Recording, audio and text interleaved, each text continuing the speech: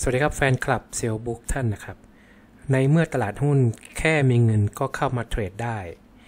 แล้วตลาดมีวิธีการคัดคนด้วยวิธีไหนครับ บททดสอบแรกคืออะไรกันทำไมผู้คน 80%ถึงสอบไม่ผ่าน ใครมีโอกาสเป็นผู้ชนะในระยะยาวนะครับ นี่เป็นประเด็นที่ผมอยากชวนท่านคุยวันนี้นะครับ ก็ได้แรงบันดาลใจมาจากนี่ครับ เป็นพีระมิด ของเทรดเซียตี้นะเขาเอามาแชร์ให้ฟังกันว่า เขาก็มีประวัติมีข้อมูลที่ทางโบรกเกอร์นะครับโบรกเกอร์ของต่างประเทศเก็บไว้ว่า นักเทรดนี่ยฮะเข้ามา 100%นะ100%เนี่ยต่าง แรงบันดาลใจเขาเข้ามาเทรดเนี่ยด้วยความฝันครับว่าจะรวยง่ายรวยเร็วรวยไวครับ หวังให้ตลาดหุ้นหรือตลาดเก็งกำไรครับ ไม่ว่าจะเป็นตลาด forex ไม่ว่าเป็นตลาดคริปโตเคอเรนซีก็ตามครับทำให้เขารวยไวครับ รวยง่ายรวยไวแล้วก็รวยอย่างมหาศาลครับ นี่เป็นจุดเริ่มต้นครับ จุดประกายดึงดูดให้ผู้คนเข้ามาครับ แต่จากข้อมูลนะครับว่า 40%ของทั้งหมดนั้น หายไปครับ ภายในเพียงแค่ 1 เดือนแรกครับ ถอนตัวไปหรือไม่ก็หมดตัวไปครับ ภายใน 1 เดือนแรกครับ จากนั้นฮะภายใน 2 ปีครับ จะหายไปรวม 80%ของทั้งหมดครับทำไมถึงเป็นอย่างนั้นเออนะชวนคิดเล่นๆนะครับทำไมเป็นอย่างนั้น อะไร คือสิ่งที่เรียกว่าบททดสอบแรกที่คัดคนได้เยอะขนาดนั้นฮะคุณคิดว่าเป็นเรื่องอะไรครับ ผมนะ การขาดทุนครับ เป็นเทสนะฮะ เป็นบททดสอบว่าตลาดมอบบททดสอบแรกกับนักเทรดทุกคนครับ คือในเมื่อตลาดเนี่ยนะครับ ไม่ว่าจะเป็นตลาดหุ้นเองก็ตาม ตลาดเก็งกำไร ตลาด forex ตลาดคริปโตเคอร์เรนซีอะไรก็ตามครับ ที่ถ้าถ้าคุณคือตลาดหุ้นนี่จะไม่ชัดเจนหรอกแต่ว่าถ้าคุณไปดูตลาดตลาดของต่างประเทศนะที่ที่ทางเว็บไซต์อะเว็บไซต์เทรดต่างประเทศมันจะมีนะฮะ แอปพลิเคชันใหญ่ๆเลยบอกว่าเนี่ยคุณเข้ามานะ ให้โบนัสเลย ให้โบนัสเทรดเลยหนึ่งสมมติหนึ่งร้อยเหรียญง่ายๆหนึ่งร้อยเหรียญให้เงินเทรดทันทีเลยทำไมให้ฟรีๆครับ คุณคิดว่าทำไมทำไมเขากล้าให้อย่างนั้นนะครับ เพราะนี่ฮะเพราะว่าเขาดึงมันเข้ามาไง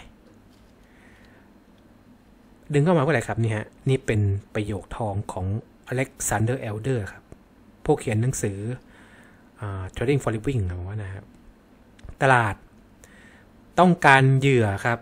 รายใหม่ ๆ เข้ามาต้องการ supply ครับมันใช้ว่า supply นะ supply ก็คือแบบเหมือนกับอุตสาหกรรมอะ่ะ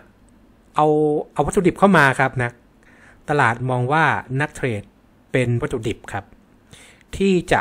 เอามาเพื่อจะทำให้ตลาดนั้นอะ่ะให้อาณาจักรตลาดนั้นมันยิ่งใหญ่ครับ ตลาด มองนักเทรด เป็นวัตถุดิบครับ จึงไม่แปลกใจเลยว่าทำไมอะทำไมเว็บเทรดต่างประเทศนะครับเว็บเทรดออนไลน์แอปพลิเคชันใหญ่ๆเนี่ยทำไมเขากล้าให้เงินก่อนเลยอะให้คุณห้าสิบเหรียญมาเทรดเลยครับทำไมเขากล้าให้เขาว่าเนี่ยฮะเพราะเขามั่นใจว่าคนที่เข้ามานั้นจะไม่มีทางสอบผ่านด่านแรกเลย คือด่านการขาดทุนครับพูดง่ายๆคือเข้ามาขาดทุนแน่นอนครับ ขาดทุนแน่ๆ ไม่มากก็น้อยยังไงตลาดยังไงโบรกเกอร์ก็ได้กำไรครับ เขายั่วคุณด้วยไม่ง่ายมันก็คล้ายกับที่เป็นคาสิโนของของต่างประเทศใช่ไหมเขามีอะไรเขาชวนคนไปอะ มีการมีบริการขนคนไปเลยนะ นั่งรถทัวร์ไปรถตู้ไปเนี่ย ไปยังแดนของเขาอะแล้วก็ให้ ทิปฟรีมั่ง แล้วก็หรือว่าก็ให้แบบอะไรอะสาธารณูปโภคอะพวกอาหารที่พักอะไรฟรีเลยล่อให้เข้ามาครับ บางคนก็เท่าไหร่เข้ามาแบบ อยากจะบันเทิงนะแต่ว่าเอ้ยมันก็มีมีมีของล่อเข้ามาไงเนี่ย ตลาด need fresh supply of loser ครับล่อมาด้วยวิธีไหนก็ได้ครับ ให้เข้ามาครับ ถ้าเข้ามาเนี่ย ถ้าเสียเนี่ยนั่นแหละครับ เกิดแล้วครับ เกิด เป็นจุดเริ่มต้นของการทำเงินของตลาดครับ ของโบรกเกอร์นั่นแหละครับเพราะอะไรครับมนุษย์ทุกคนครับ ไม่ทุกคนหรอกอะผมตีประมาณสักอ่าสักสักห้าสิบเปอร์เซ็นต์แล้วกันครึ่งหนึ่งพอแพ้เนี่ยอยากได้คืนครับ เป็นเรื่องของครับ loss aversion เรื่องของความไม่อยากความกลัวเกลียดการสูญเสียครับเนี่ย พอเข้าไปแพ้เนี่ย จะเทรดมากขึ้นแล้วก็พังครับ เขาไม่สามารถที่จะรับมือกับการขาดทุนได้นั่นเองครับ การขาดทุนจึงเป็นบททดสอบแรกครับ ที่มีประสิทธิภาพมากครับ ที่สามารถคัดคนได้นะ คัดใครที่แบบแย่ๆใครที่ไม่ดีพอออกไปได้หมดเลยครับ 80%นะฮะสองปีแรกครับเนี่ยนี่คือสิ่งที่ผมว่ามันมันสำคัญมากเลยนะครับ โอเคละอาจจะมีใครบางคนนะคิดว่าการเทรดมันง่ายเนี่ยตอนแรกเนี่ยตลาดให้ข้อมูลตรงนี้ครับว่าเนี่ยโอ้คุณเข้ามานะ ราบรื่นเลยเนี่ยชีวิตคุณอย่างเงี้ยให้เงินคนมาสมมติห้าห้าสิบเหรียญเนี่ยแป๊บเดียวครับ มันจะกลายเป็นเป็นร้อยเป็นพันผมผมยังมีครับ ผมติดตามดูคำที่ผมเคยเทรดมา เทรดของต่างประเทศโบรกเกอร์มาเขาจะมีอีเมลมาทุกวันครับว่าไอเนี่ยวันนี้หุ้นตัวไหนที่ให้กำไรสูงมากอ่าสันสินทรัพย์ตัวไหนให้กำไรสูงมากจะมีเนี่ยเนี่ยถ้าซื้อตรงนี้นะกำไรเลยเนี่ยวันเนี้ย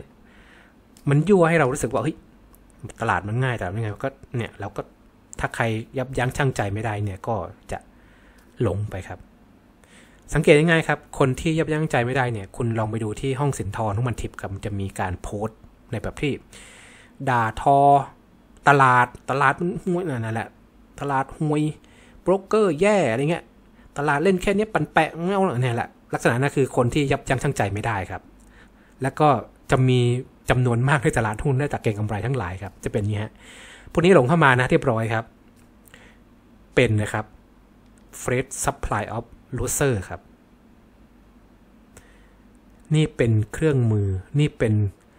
บททดสอบ ที่ทรงประสิทธิภาพในการคัดคนครับ แล้วก็ในการทำเงินของตลาดครับในการทำเงินของโบรกเกอร์ทั้งหลายครับ คืออะไรครับล่อคนให้เข้ามา แล้วก็ทดสอบด้วยการ ลองสิทำให้ขาดทุนนี่จะเป็นยังไงแล้วอย่างนั้นใครก็ตามครับ ที่ไม่ดีพอซึ่งอยู่ในไม่ดีพอหรอกเพราะเพราะเป็นมือใหม่ใช่ไหมไม่รู้เรื่องอะไรเนี่ยเข้ามาก็เทรดไปตามอารมณ์จำ จำจากที่จำจากที่หนังสือบอกมาก่อนหนังสือบอกว่าก็คัดมาเงี้ยก็ขาดทุนไป พอขาดทุนแล้วตอบสนองไม่เป็นครับ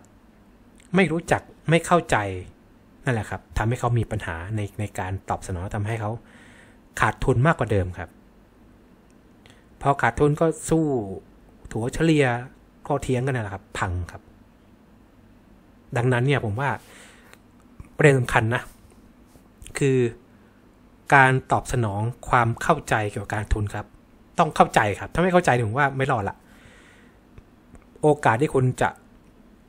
เสียขวัญแล้วก็ออกไปภายในภายภายในสองปีเนี่ย หรือไม่ก็เดือนแรกนี่มีสูงมากครับ แต่ถึงนั้นครับนะฮะการที่คุณสอบตกไปครั้งแรกไม่ใช่ปัญหานะครับ นักเทรดชั้นเซียน นักเทรดชั้นมาร์เก็ตวิสาสแทบทุกคนครับนะฮะ ต่างก็สอบตกครั้งแรกครับ แต่ด้วยความที่อะไรครับ เขาไม่ยอมแพ้ครับ มันท้าทายอะมันทำไงทำไมถึงไม่ชนะว่าเกิดอะไรขึ้นเนี่ย กลับมาสู้ใหม่ครับ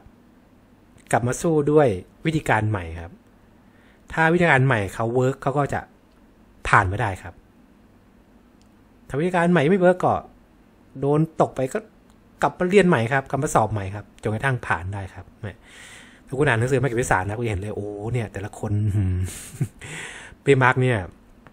หมดตัวอย่างน้อยสองครั้งนะครับ บางคนเนี่ยอย่างอย่าง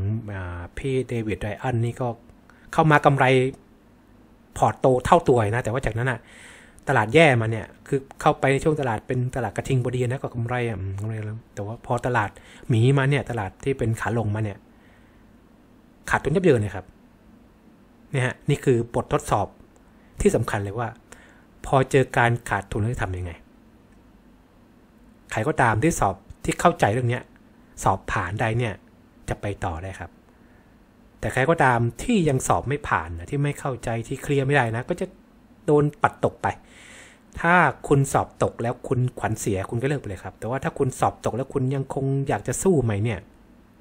อยากจะท้าทายเนี่ย เชื่อว่าฉันดีพออะไรเพียงแต่ว่าฉัน ครั้งที่แล้วเนี่ยฉันแบบ ฉันใช้กลยุทธ์ที่มันมันไม่เวิร์กเนี่ยกลับมาสู้กลยุทธ์ใหม่ก็อาจจะสำเร็จได้ครับใครก็ตามนะครับ ถ้าคุณผ่านด่านของการทำความเข้าใจของการบริหารการขาดทุนเนี่ยนะคนนั้นอะ จะมีโอกาสไปต่อได้ครับ แล้วก็มีโอกาสสำเร็จสูงมากครับเพราะว่าอะไรครับ ถ้าคุณเข้าเข้าใจการขาดทุนนะบริหารจัดการดีนะ คุณจะเข้าใจการบริหารความเสี่ยงนะครับ เข้าใจการบริหารความเสี่ยงแล้วก็อะไรครับ position size ได้ด้วยนะครับ คือยิ่งคนเริ่มต้นเนี่ย ถ้าคุณเข้าใจการขาดทุนมันคืออะไรกันแน่ แล้วมือโปรก็ทำอะไรก็ทํำยังไงถึงถึงก้าวข้ามมันได้นะ คุณได้เปรียบแหละ คุณจะกลายเป็น